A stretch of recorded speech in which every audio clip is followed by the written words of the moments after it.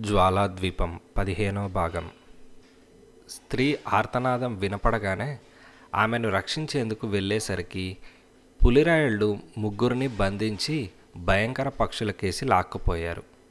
హఠాత్తుగా కనురెప్పపాటు కాలంలో జరిగిపోయిన ఈ దుస్సంఘటన ఉగ్రదత్తుణ్ణి నిశ్చేష్టుని చేసింది.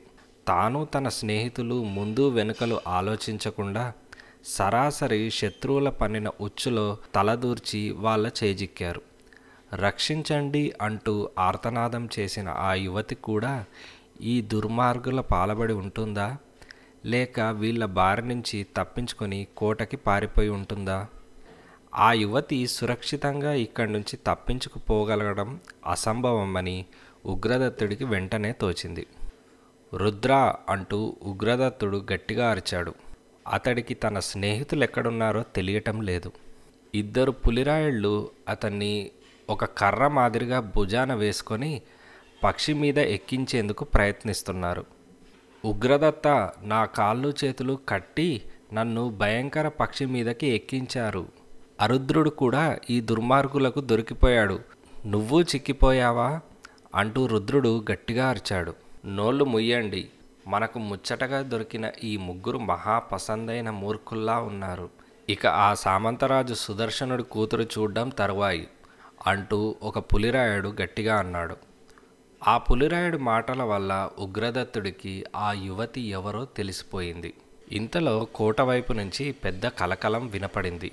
ఉగ్రదత్తుడు తమకు ఎవరో సహాయం చేస్తున్నారనుకున్నాడు. రాజకుమార్తె చంద్రసేన పెట్టిన కేకలు కోటలో వాళ్ళకు వినపడి ఉంటాయి. ఉగ్రదత్తుడు కాళ్ళు చేతులు ఆడిస్తూ తాళ్ళను తెగ్గొట్టుకునేందుకు ప్రయత్నిస్తున్నాడు.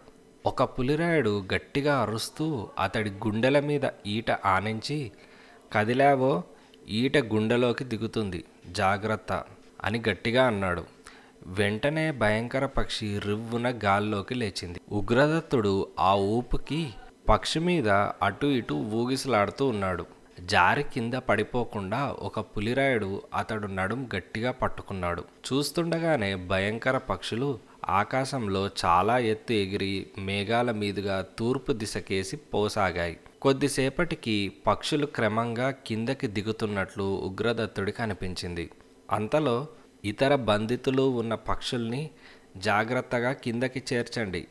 తక్కిన వాళ్ళు బల్లూకరాయలను ఎదుర్కోండి అన్న కేక వినపడింది. ఉగ్రదత్తుణ్ణి పక్షి మీద నుంచి కిందకి విసిరేశారు. అదృష్టవశాత్తు అతడు ఎత్తుగా పెరిగిన పచ్చగడ్డి మీద పడటంతో పెద్ద గాయాలేమీ తగల్లేదు.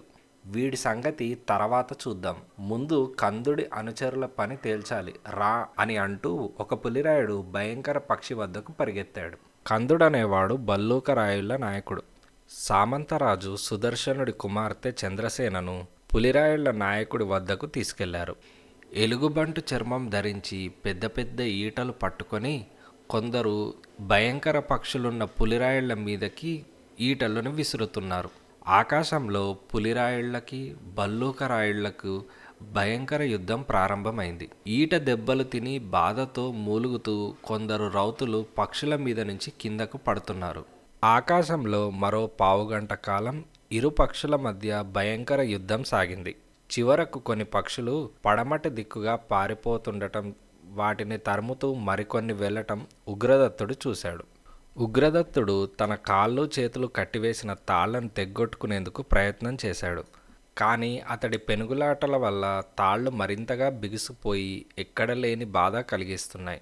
మిట్ట మధ్యాహ్నం అయింది ఎండ తీవ్రమైంది. ఉగ్రదత్తుడి నాలిక దాహంతో పిడుచుకట్టుకు పోసాగింది.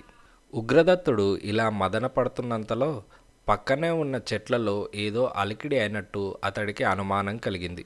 ఉన్న చోటు నుంచి ఆ ధ్వని వచ్చిన వైపుకు పొర్లి చెట్లలో పరీక్షగా చూశాడు. రెండు తోడేళ్ళు చెట్ల చాటున నిలబడి చూస్తూ నిల్చున్నాయి.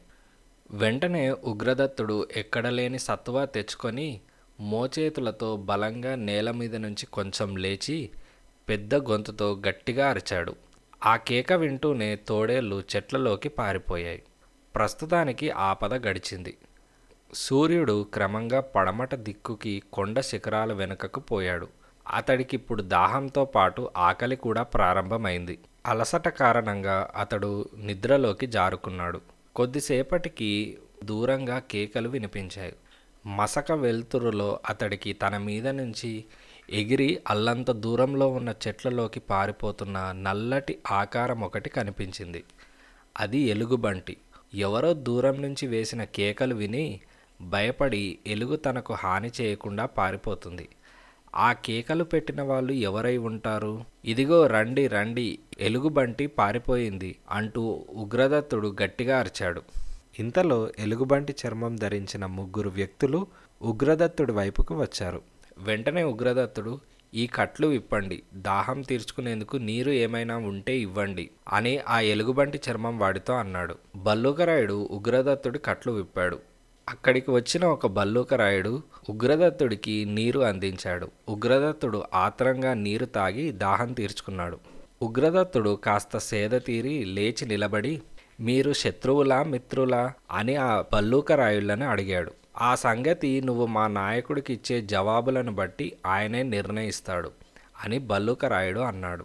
సరే పదండి అని ఉగ్రదత్తుడు అన్నాడు. బల్లూకరాయుళ్ళు ముగ్గురు అతన్ని వెంటబెట్టుకొని చెట్లలో కొంత దూరం నడిచి ఎగుడు దిగుడుగా ఉన్న కొండ రాళ్ళ మధ్య గల ఒక బలపరపు రాతిని ఎత్తి గుహలోపలికి దిగి తిరిగి రాతిని ఎప్పటిలాగా మూసేశారు. ఇంకా ఉంది.